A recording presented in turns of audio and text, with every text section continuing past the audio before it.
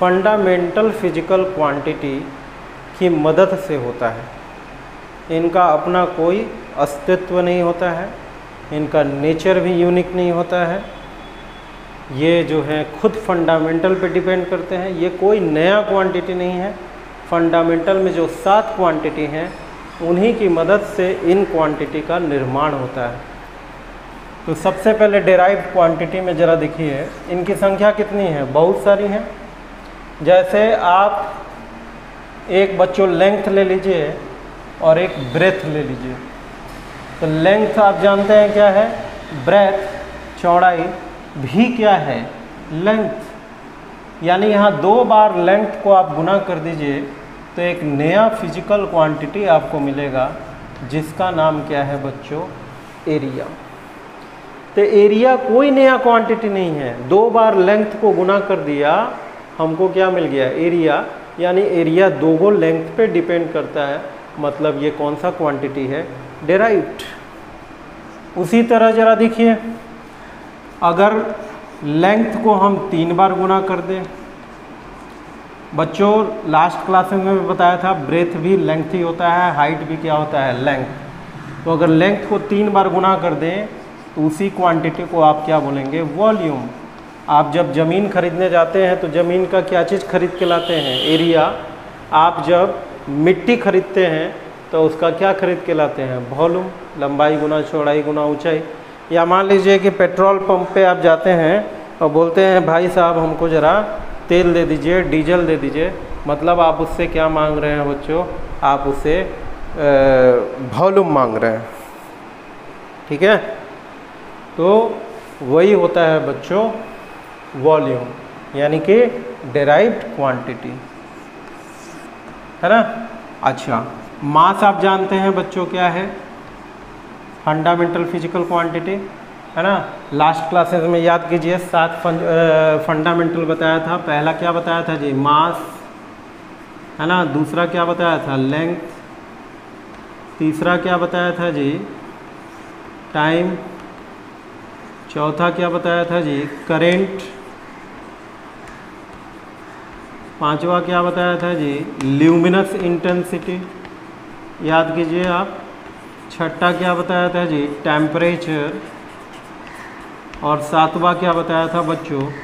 amount of substance है ना नहीं हो तो पहला लेक्चर रिवीजन कर लीजिए आप ये सातों क्वांटिटी आपको हमने पढ़ाया था तो अब देखो बच्चों तो वॉल्यूम का जो निर्माण हुआ है तो फंडामेंटल से हुआ है एरिया का भी निर्माण किससे हुआ है भाई फंडामेंटल से हुआ है है ना अब मास ले लेते हैं मास के बाद क्या ले लेते हैं जी मास के बाद आप ले लीजिए वॉल्यूम तो आपको बच्चों पता है वॉल्यूम क्या है ये देखिए मास को अगर वॉल्यूम से हमने डिसाइड ये डिवाइड कर दिया तो मास बटा वॉल्यूम वॉल्यूम तो ऑलरेडी क्या है जी डिराइव मास है फंडामेंटल तो ये एक नया टर्म हमको मिलेगा जिसका क्या नाम है जी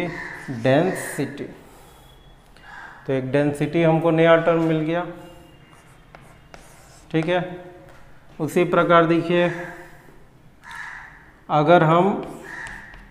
डिस्टेंस ले लें या डिस्टेंस का ही बच्चों फिलहाल मान लीजिए दूसरा नाम क्या है डिस्प्लेसमेंट फिलहाल मान लीजिए आप डिस्टेंस ले लें या डिस्प्लेसमेंट ले लें और उसको अगर टाइम से डिवाइड करें तो डिस्टेंस भी लेंथ है ये देखिए दूसरा फंडामेंटल क्वांटिटी टाइम भी आप जानते हैं फंडामेंटल है तो यहाँ क्या मिल जाएगा बच्चों हमको एक नया डिराइव क्वांटिटी मिल जाएगा स्पीड या वेलोसिटी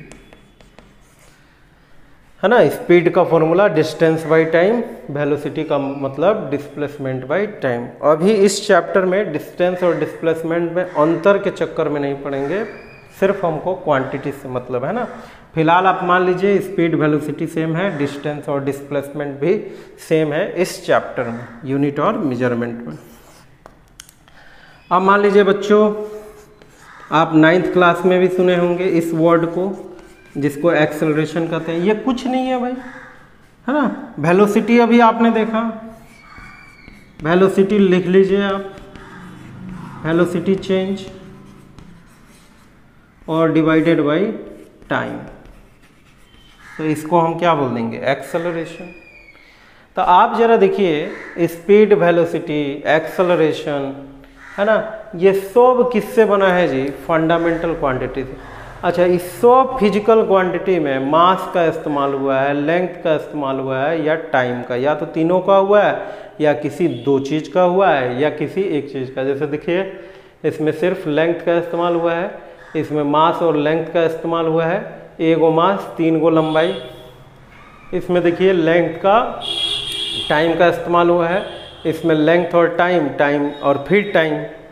इसमें लेंथ टाइम तो है ही और फिर एक टाइम तो ये हो गया आपका एक्सलरेशन और क्या है जी आपका फोर्स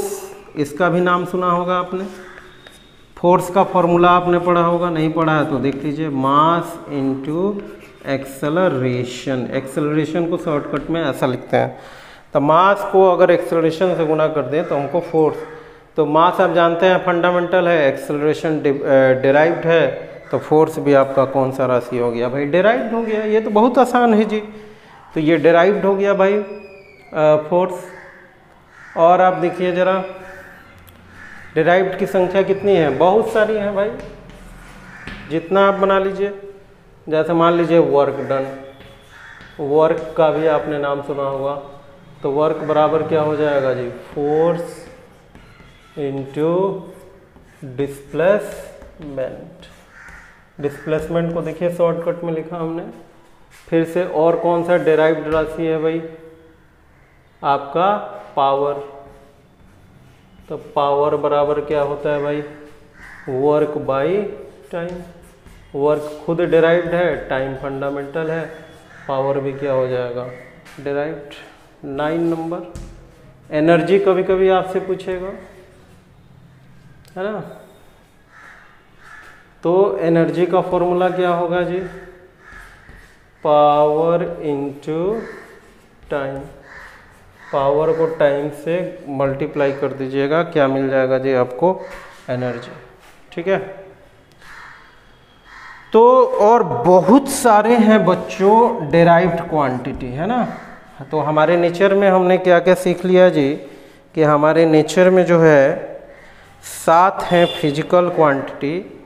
और इसके अलावा अनेक हैं बहुत सारे हैं डेराइव्ड क्वांटिटी जिसमें से कुछ डेराइव्ड क्वांटिटी के नाम आपको बोर्ड पर दिख रहे हैं है ना कुछ बुक्स में आपको मोमेंटम वगैरह भी दिखा होगा बहुत सारे हैं ये देखिए दसवां नंबर भी लिख लीजिए याद आ गया मोमेंटम मोमेंटम तो मोमेंटम बराबर क्या होता है जी मास इनटू वेलोसिटी ठीक है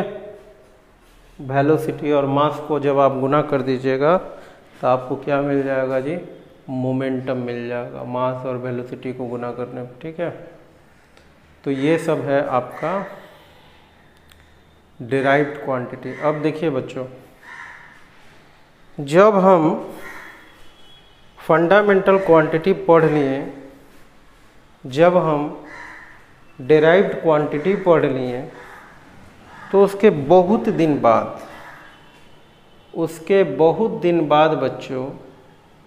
पता चला कि दो ऐसी राशियां मिली हैं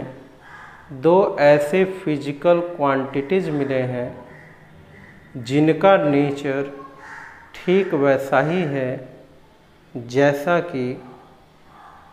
फंडामेंटल क्वांटिटी का होता है यानी हमको ऐसी राशियां मिली जिनका नेचर ठीक ठीक जिनका नेचर नेचर ठीक ठीक फंडामेंटल क्वांटिटी के जैसे था कौन सी थी वो दो राशियाँ तो बच्चों वो दो राशि था प्लेन एंगल और सॉलिड एंगल ठीक है अब आपके मन में प्रश्न हो रहा होगा कि भाई ये प्लेन एंगल क्या है भाई ये सॉलिड एंगल क्या है भाई तो देखिए देखो बच्चों प्लेन एंगल किसको कहते हैं ज़रा देखिए अगर दो लाइंस हैं तो दो लाइंस का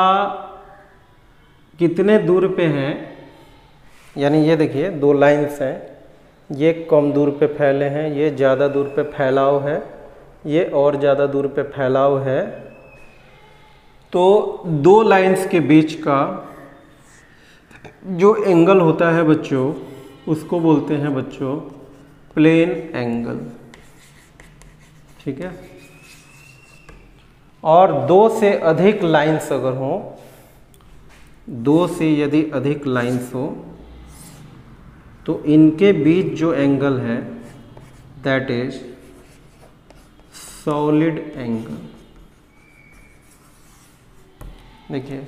आप और बेहतरीन ढंग से इसको समझ सकते हैं जैसे कि मान लीजिए आपका रूम है आप जिस रूम में अभी पढ़ रहे हैं ना उस रूम में मत्था उठा के ज़रा ऊपर देखिए मत्था उठा के ऊपर देखिए और ऊपर में कहाँ देखना है बच्चों अपने रूम में अपने रूम में ऊपर में किनारा में देखना है यहाँ किनारा तो किनारा में देखो और देख कर ज़रा बताओ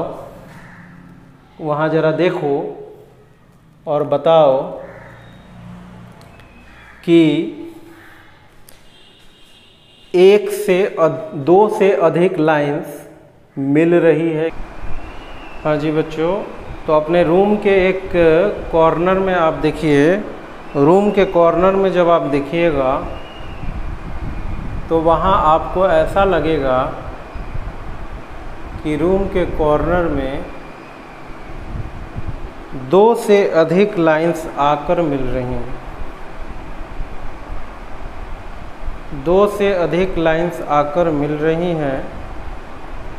इसका मतलब है कि वहाँ प्लेन एंगल मिल बन रहा है या सॉलिड एंगल बन रहा है तो इसका उत्तर होगा कि वहाँ सॉलिड एंगल बन रहा है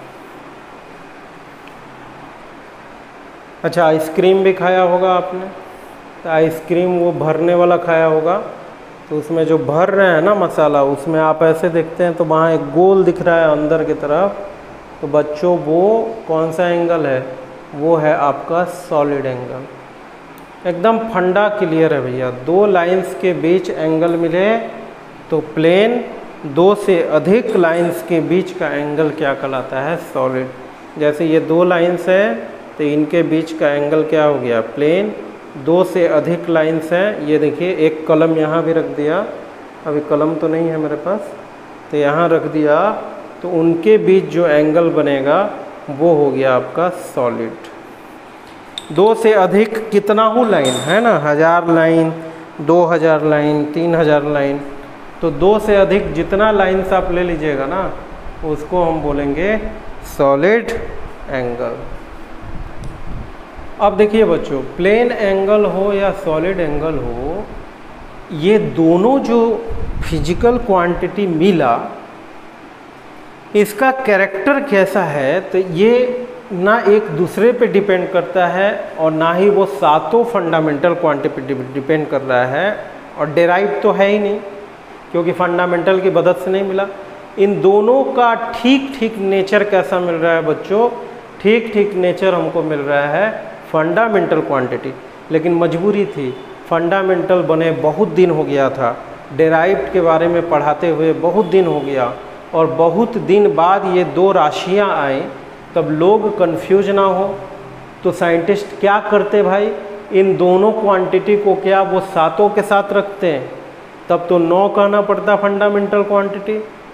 सबको बताना होगा कि नहीं नहीं सात मत पढ़ो अब से नौ फिजिकल फंडामेंटल क्वांटिटी हो गया तो लोगों ने कहा कि इसको फंडामेंटल जैसा नेचर है तो फंडामेंटल को सात से नौ बनाने से अच्छा है कि एक तीसरा तरह का ही हम राशि बना देते हैं तीसरा तरह का ही हम क्वांटिटी बना देते हैं जिसका नाम है बच्चों सप्लीमेंट्री फिजिकल क्वांटिटी देखिए नाम से ही क्लियर है सप्लीमेंट्री शब्द का क्या मतलब होता है बच्चों सप्लीमेंट्री शब्द का मतलब होता है जो सबसे बाद में आए जैसे आप कभी परीक्षा दिए होंगे तो परीक्षा में जब आप कॉपी घट जाता है तो लास्ट में क्या बोलते हैं टीचर से सप्लीमेंट्री चाहिए तो फट से आके आपको क्या दे देता है सप्लीमेंट्री तो सप्लीमेंट्री का मतलब होता है जो सबसे बाद में आए ठीक है जैसे हॉर्लिक्स वगैरह के पीछे आप पढ़िएगा ना तो वहाँ देखिएगा लिखा होगा सप्लीमेंट्री फूड सप्लीमेंट्री फूड का मतलब है कि जब मेन अपना भोजन हो उसको खाने के बाद जो आता है ना दैट इज़ सप्लीमेंट्री इसी को बोलते हैं सप्लीमेंट्री ठीक तो ये भी हमने देख लिया भाई तो अगर आपसे पूछे कि टोटल कितने क्वांटिटीज़ हैं तो बेसिकली कितने हैं फंडामेंटल और डेराइव दो और सप्लीमेंट्री जो क्वांटिटी है उसका नेचर बच्चों ठीक ठीक किसके जैसा होता है फंडामेंटल के जैसा लेकिन फंडामेंटल में हम क्यों नहीं इसको बनाएं क्योंकि फंडामेंटल बनाते हैं तो फिर लोगों में कन्फ्यूजन होता है ना जो लोग पहले से जान चुके थे कि सेवन है उनको नौ बताने में टाइम लगता ठीक है तो ये था बच्चों फिजिकल क्वांटिटी अब हम आपको पढ़ाएंगे बच्चों यूनिट्स ये क्या है बच्चों यूनिट्स तो अभी तक बच्चों आपने पढ़ा फिजिकल क्वांटिटी क्या है जिसमें आपने बहुत तरह की क्वांटिटीज़ का अध्ययन किया बहुत सारी चीज़ों को आपने देखा लेकिन सवाल है जैसे कि सात फिजिकल क्वांटिटी हैं fundamental mass length time current luminous intensity temperature amount of सारना सवाल यह है कि इनको मापा कैसे जाए कैसे हम बताएं किस चीज़ का मास ज़्यादा है कैसे बताएं किस चीज़ का मास कम है बताइए तो इसके लिए हमको फिजिकल क्वांटिटी को क्या करना पड़ा बच्चों मापना पड़ा मेजरमेंट करना पड़ा कैसे मेजरमेंट हुआ इसके लिए वैज्ञानिकों का एक दल बैठा उन्होंने डिसाइड किया कि इस तरह का मेजरमेंट होना चाहिए और उसी मेजरमेंट को हम किस नाम से जानते हैं बच्चों यूनिट्स के नाम से तो अगर आपसे कोई पूछा यूनिट्स क्या है तो units are standard measurement standard measurement of physical quantity which does not change with time और फिजिकल कंडीशन आ गई बच्चों बात समझ में स्टैंडर्ड मेजरमेंट यहाँ पे बच्चों आपको ध्यान देना है स्टैंडर्ड मेजरमेंट अगर किसी फिजिकल क्वांटिटी का हम स्टैंडर्ड मेजरमेंट हम कर रहे हैं और ऐसा मेजरमेंट होना चाहिए जो समय के साथ न बदले यानी ऐसा नहीं कि पाँच साल बाद वो चेंज कर गया हो छः साल बाद वो चेंज कर गया हो या मान लीजिए ठंडा के समय में कुछ और है मान लीजिए गर्मी के समय में कुछ और है तो फिर ऐसा नहीं चलेगा ठीक है तो मान लीजिए हमने ऐसा मेजरमेंट कर दिया यूनिट्स का ये फिजिकल क्वांटिटी का ऐसा मेजरमेंट कर दिया जो जाड़ा में कुछ और है ठंडा में कुछ और है दो बजे कुछ और है रात में नौ बजे कुछ और है तो फिर इस तरह का मेजरमेंट हमको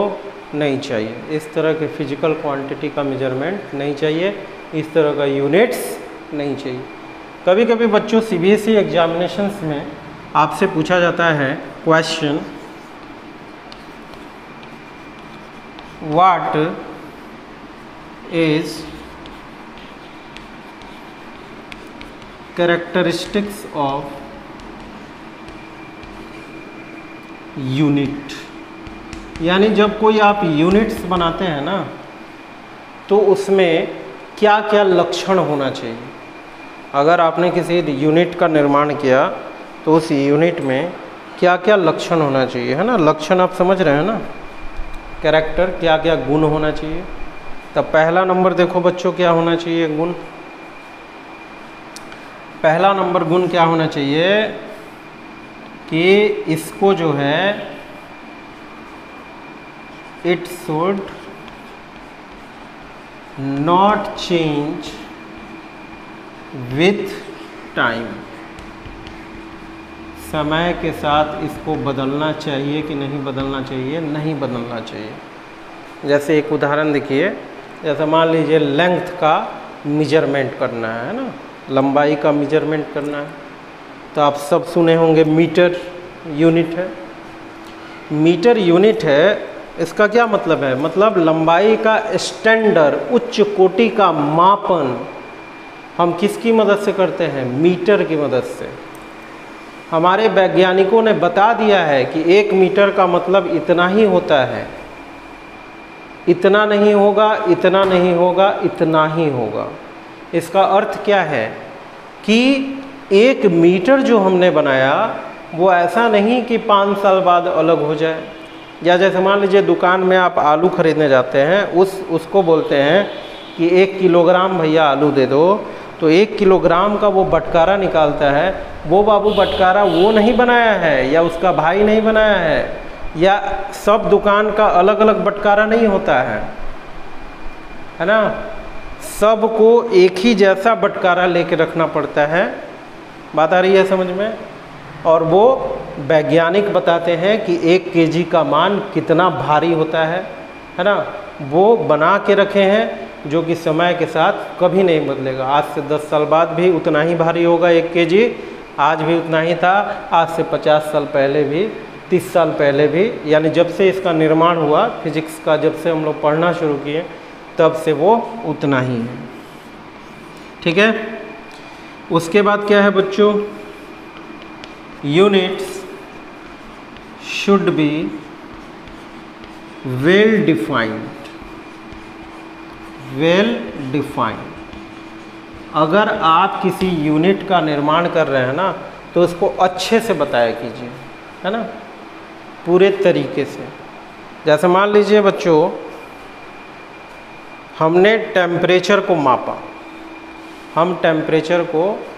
मापना चाह रहे हैं तो टेम्परेचर को जब आप मापिएगा तो जैसे मान लीजिए आपसे कोई पूछा कि बताइए पानी बर्फ़ कब बनता है है ना तो आपको बताना होगा कि देखिए भाई तापमान घटते घटते घटते घटते घटते जब उतना घट जाएगा कि बर्फ़ जो है ये पानी जो है वो बर्फ़ बन जाएगा तो जिस तापमान पे ये घटना होगी उस तापमान को हम जीरो डिग्री बोल देंगे ये बात आ रही है समझ में जैसे आपसे कोई पूछा कि जीरो डिग्री सेल्सियस कितना तापमान होता है भाई जीरो डिग्री सेल्सियस कितना टेम्परेचर है आपने बताया कि भाई हमारे फ्रिज में जब पानी बर्फ़ बन जाता है जिस टेम्परेचर पे वो बर्फ़ बनता है उसी टेम्परेचर को हम क्या कहते हैं भाई जीरो डिग्री अब वो आदमी पहाड़ पे एक आदमी रह रहा है घर बना के वहाँ वो फ्रिज में देखा भाई है ना वहाँ भी बर्फ़ बनाया पानी का एक आदमी बिहार में है वहाँ भी पानी का बर्फ़ बनाया दोनों को हमने छुआ तो देखा अलग अलग ठंडापन है इसका मतलब आपने वेल डिफाइंड नहीं किया आपने नहीं बताया कि पानी जो बर्फ़ बनता है वो ज़रूरी नहीं है कि पूरे वर्ल्ड में जीरो डिग्री सेल्सियस पे बने यह प्रेशर पे भी निर्भर करता है कि कहाँ जीरो डिग्री पे बनेगा कहाँ दो डिग्री पे बनेगा कहाँ माइनस वन डिग्री पे बनेगा ये पानी जो बर्फ़ बनता है वो बर्फ़ किस तापमान पे बनेगा इसका निर्धारण वहाँ पे उपस्थित प्रेशर भी करता है तो ये वेल डिफाइंड करना बहुत ज़रूरी है है ना तीसरा अगर आप यूनिट को बना बना रहे हैं यूनिट को तो वो ऐसा होना चाहिए कि जब सामने वाला दो चार आदमी पूछे आप उस यूनिट को दिखा सकते हो और बता सकते हो है ना तो it should be reproducible reproducible whenever needed whenever needed जब ज़रूरत हो आप यूनिट को दिखा सकते हैं ऐसा यूनिट होना चाहिए आपके पास जैसे मान लीजिए आप पूछे एक के जी कितना है तो एक के जी का सैंपल हम रखे हैं है ना एक के जी का सैंपल अभी भी आज के डेट में भी आप जाइएगा जेनेवा में जहाँ यूनिट uh, के एसोसिएशन है यूनिट्स और मेजरमेंट का वो लोग आज भी बता देगा कि देखिए भाई एक के इतना होता है ठीक है तो आप बता सकते हो लेकिन पाँच जीरो डिग्री टेम्परेचर कितना होता है तो अब आप दिखाने के लिए फिर बर्फ़ बनाइएगा बना के फिर उसको फ्रिज से निकाल के अपने दोस्त को दिखाने जाइएगा कि भाई जीरो डिग्री है तब तक वो बर्फ़ गल चुका होगा यानी कि उसको रिप्रोड्यूस्ड आप नहीं कर सकते हैं ना तो यूनिट ऐसा होना चाहिए बाबू कि उसको जब चाहे आप रिप्रोड्यूस कर सकते हैं जैसे आज भी एक मीटर कितना बड़ा लंबाई होता है ये आज भी वहाँ साइंटिस्ट ने बना के रखा है वो सारे वर्ल्ड में उपस्थित सभी देशों को भेज देते हैं सभी देश अपने अपने राज्यों को भेज देते हैं कि हाँ भाई आज से इतना ही बड़ा एक मीटर का लाएगा सभी राज्य अपने अपने डिस्ट्रिक्ट्स में भेजते हैं डिस्ट्रिक्ट अपने अंडर जितने भी टाउन्स हैं उनको बता देते हैं तो आप देखिएगा बटकारा स्केल ये सब कंपनी ही बना सकता है ये आप खुद से नहीं बना सकते हैं आपको कंपनी द्वारा जो आई जो रजिस्टर्ड है जो आई एस आई बोलता है मार्क वही लोग बना सकता है आप अगर बनाइएगा बटकारा और स्केल तो आपको जेल भी हो सकती है तो ऐसा होना चाहिए यूनिट कि जब चाहें तब उसको रिप्रोड्यूस्ड कर सकते हैं अब देखिए चौथा क्या लक्षण होना चाहिए it should not be too small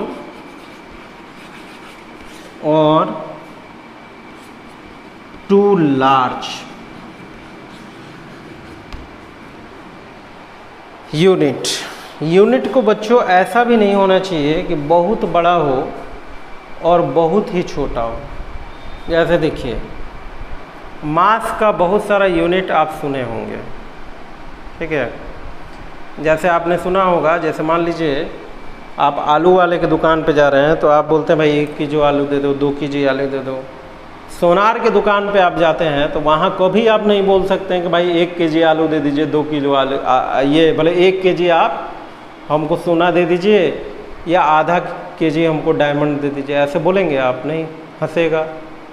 अच्छा लोहा वाले दुकान कबाड़ वाले दुकान पे आप कभी नहीं जाके बोल सकते हैं भाई एक किलोग्राम कबाड़ हमको बेचना है बताइए कब आइएगा आप मेरे पास तो कहने का मतलब है बच्चों कि आप सुनार के जब दुकान पे गए थे तो वहाँ केजी में बात करने से हड़बड़ा रहे हैं क्योंकि सोना जो है बहुत महंगा है और उसको जब आप खरीदते हैं तो कैसे खरीदते हैं मिलीग्राम है ना माइक्रोग्राम क्योंकि वो मटर के दाने इतना सोना का दाम हो जाएगा तीस हज़ार चालीस हज़ार साठ हज़ार एक लाख है ना तो वहाँ आप किलोग्राम में बात नहीं करना पसंद करते हैं सुनार के दुकान पे वहाँ आप पसंद करते हैं मिलीग्राम माइक्रोग्राम यानी छोटा मांस की बात करते हैं वही आप जाते हैं जब आप कबाड़ी वाले के यहाँ तो वो आपसे केजी में बात नहीं करेगा वो आपसे मिलीग्राम में बात नहीं करेगा वो आपसे बात करेगा टन में हाँ टन में बात करेगा आपसे कितना टन क्विंटल में आप सब सुने भी होंगे ये पहले है ना तो क्विंटल जो है एक क्विंटल में कितना किलोग्राम होता है सौ के जी तो क्विंटल बहुत बड़ा यूनिट हो गया मास का सौ किलोग्राम एक बार मिलेंगे तब एक क्विंटल होगा उसी तरह मिलीग्राम बहुत छोटा हो गया लेकिन ज़रा बताइए हमको कैसा यूनिट बनाएं हम क्या बहुत बड़ा क्विंटल जैसा बनाए मास का यूनिट या मास का यूनिट बहुत छोटा जैसे सुनार के दुकान पे यूज होता है वैसे बनाए तो हमने क्या देखा कि बहुत बड़ा बना रहे हैं तो भी वो डेली डे टू डे में उसका उपयोग नहीं है बहुत छोटा बना रहे हैं तब भी उसका डे टू डे में उपयोग नहीं है तो हमने सोचा कि ना उसको छोटा बनाएंगे ना उसको बड़ा बनाएंगे मिडल में रहने देंगे यानी के जी तो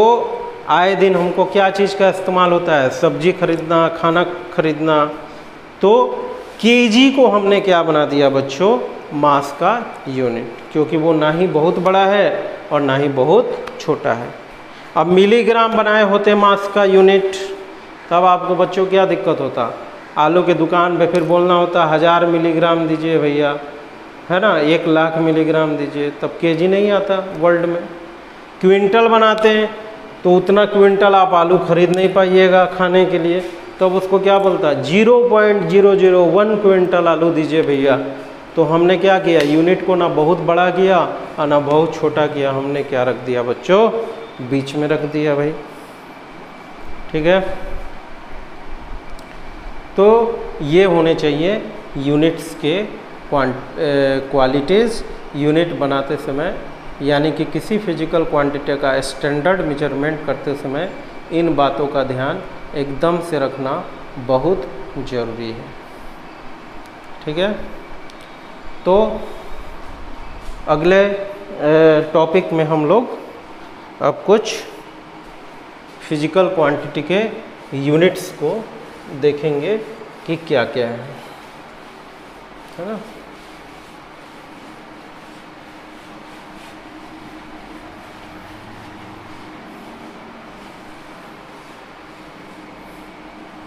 जैसे बच्चों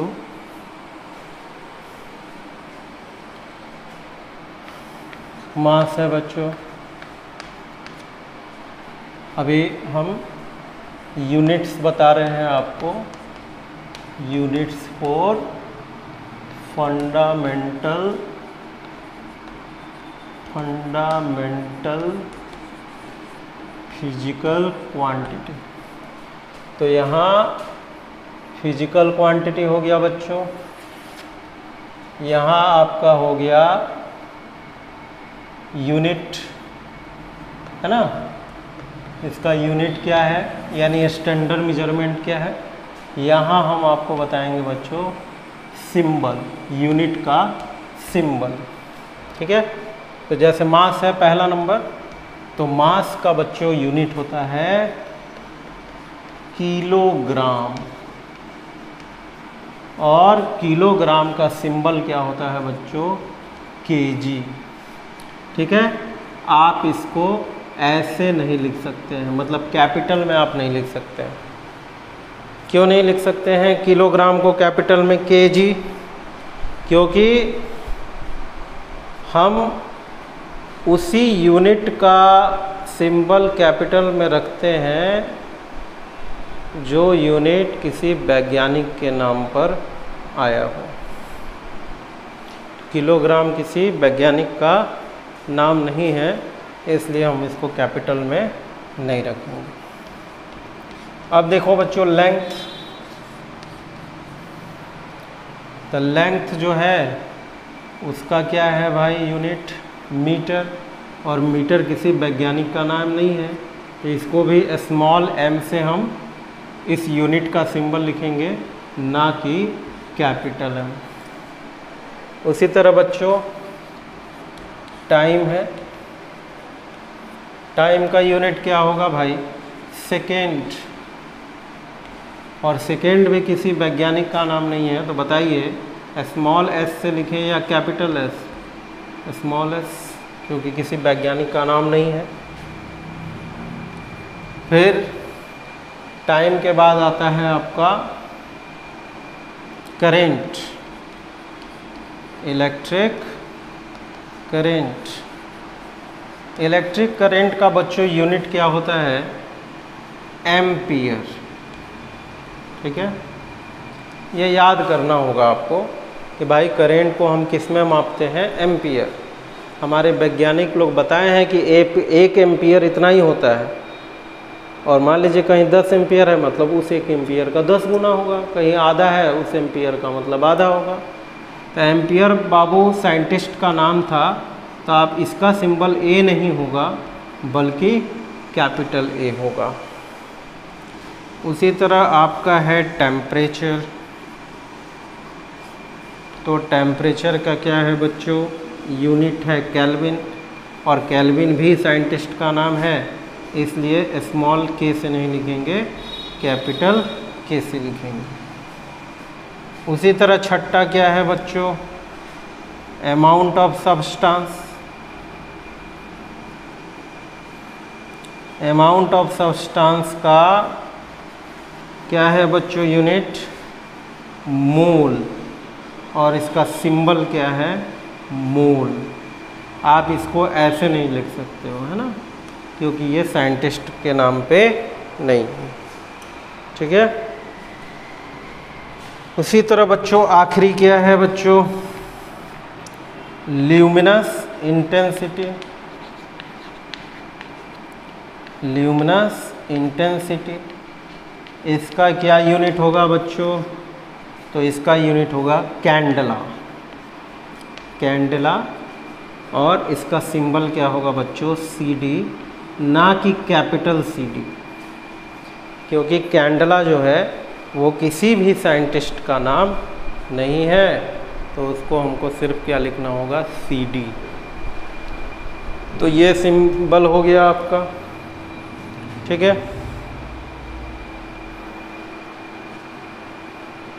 तो ये फंडामेंटल फिजिकल क्वांटिटी के सिंबल हैं यूनिट्स हैं ठीक है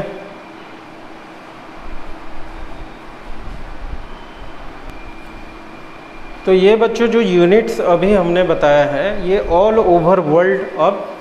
यही चलता है ये जो सातों क्वांटिटी का जो यूनिट्स हमने बताया है पूरे देश और विदेश में यही चलता है अब लेकिन पहले ये नहीं चलता था जब देश हमारा आज़ाद नहीं हुआ था तो बच्चों पहले ये यूनिट्स नहीं चलते थे तो हमको यह भी जानना ज़रूरी है कि पहले क्या चलते थे और जो अभी पूरे देश दुनिया में चल रहा है वो कौन सा यूनिट है और ये आए दिन आप जानते होंगे ये नाइन्थ क्लास में भी देखा होगा तो अगला टॉपिक बच्चों हम आपको बताएंगे types of system of unit या टाइप्स ऑफ यूनिट ये जो बच्चों देख रहे हैं यूनिट्स और यूनिट्स का सिंबल ये आज के डेट में पूरा वर्ल्ड इस्तेमाल करता है लेकिन जब हमारा देश आज़ाद नहीं था जब बहुत साल पहले जब फिज़िक्स का डेवलपमेंट हो रहा था तो उसमें यूनिट्स के तीन सिस्टम होते थे क्या क्या वो तीन सिस्टम है C G S F P S और एम के एस ये सी जी एस बाबू कहाँ चलता था फ्रांस है ना फ्रांस में चलता था इसलिए इसको बाबू फ्रेंच सिस्टम ऑफ यूनिट भी बोलते हैं है ना फ्रेंच सिस्टम ठीक है इसमें वो लोग क्या करते थे बच्चों लेंथ को सेंटीमीटर में मापते थे मास को ग्राम में मापते थे ग्राम भी आप जानते हैं सेंटीमीटर भी जानते थे और टाइम को सेकंड में मापते थे अच्छा एफ सिस्टम कौन से देश में इस्तेमाल होता था बच्चों ब्रिटेन में अच्छा एक चीज़ याद रखिएगा हम लोग जो हम लोग के देश को जो गुलाम बनाया था वो भी ब्रिटिश ही थे है ना इसीलिए एफ जो सिस्टम है आज भी देखिएगा भारत के कुछ शहरों में ये हावी है एफ सिस्टम में बच्चों क्या होता है लेंथ को हम किस में मापते हैं बच्चों फुट में आपने सुना होगा देखिएगा घर वगैरह या लकड़ी आप कहीं जाते हैं बढ़ई वगैरह तो फुट का ही बात करता है कितना फुट चाहिए है ना और इसमें जो है बच्चों मास जो होता है वो हम पाउंड नाम के यूनिट में मेजरमेंट करते हैं और टाइम इसमें जो होता है वो सेकेंड यूनिट होता है उसका ठीक है अब देखो बच्चों एम के एस सिस्टम क्या है तो एम के एस सिस्टम जो है सी जी एस सिस्टम का ही एडवांसमेंट है सी जी एस सिस्टम को ही हम बड़ा रूप में कौन से सिस्टम के नाम से जानते हैं एम के एस और यह यही जो है आज पूरे देश में इस्तेमाल होता है तो एम के एस यूनिट में जो है लेंथ को बच्चों हम किस में मेजर करते हैं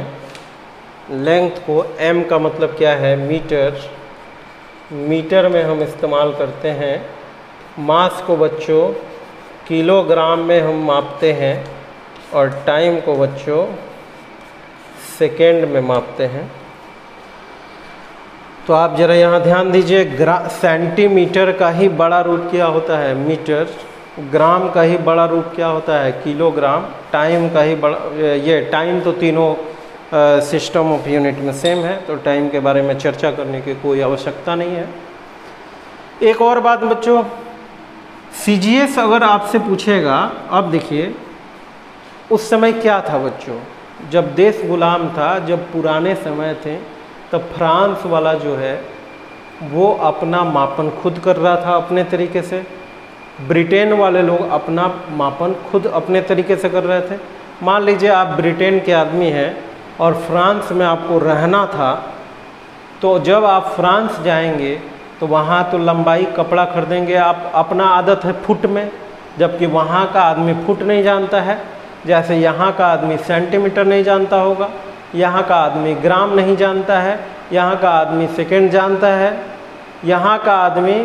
सिर्फ क्या जानता है फुट और पाउंड वैसे ही फ्रांस वाले लोग सिर्फ सेंटीमीटर जानते हैं ग्राम चाहते हैं उसको फुट में बोलिएगा नहीं समझेगा उसको पाउंड में आप मांगिए तो नहीं समझेगा मान लीजिए आप ब्रिटेन के आदमी हैं और फ्रांस में जाके कहिएगा कि भाई दस पाउंड ज़रा हमको चावल दीजिए बड़ा भूख लगा है तब वो नहीं देगा बच्चा है ना तो इससे आपको क्या समझ में आया कि पूरे वर्ल्ड में एक प्रकार के यूनिट्स होने चाहिए बच्चों या अलग अलग यूनिट्स होने चाहिए एक प्रकार के होने चाहिए है ना सब लोग एक ही तरह का यूनिट उपयोग करेगा तो उससे फ़ायदा है बच्चों की घाटा है फ़ायदा है आप किसी भी देश के साथ अपना क्या कर सकते हैं व्यापार कर सकते हैं कहीं जा सकते हैं कहीं आ सकते हैं है ना अब यदि आपसे पूछा जाए कि ठीक है सी और एफ फ्रांस वाला सिस्टम और ब्रिटेन वाले सिस्टम में सबसे बेस्ट कौन सा सिस्टम है तो क्या जवाब होगा सी जी एस क्यों है क्योंकि सी सिस्टम जो बच्चा है वो कौन से सिस्टम पे आधारित होता है मेट्रिक सिस्टम है ना मेट्रिक सिस्टम ठीक है और एफ सिस्टम जो है वो किस सिस्टम पे आधारित होता है based on non metric system अब आपके दिमाग में बच्चों आ रहा होगा कि ये मेट्रिक और नॉन मैट्रिक सिस्टम क्या है मैट्रिक जिसमें आप पास करके आए हैं उसको हम नहीं बोल रहे हैं मैट्रिक और नॉन मैट्रिक सिस्टम क्या है ये हम आपको अगले लेक्चर में बताएंगे और मैट्रिक सिस्टम पे सी आधारित है एफ पे नॉन मैट्रिक सिस्टम पे आधारित है क्यों ये बुरा है क्यों ये अच्छा है ये अगले क्लास में हम पढ़ेंगे ठीक है चलो बच्चों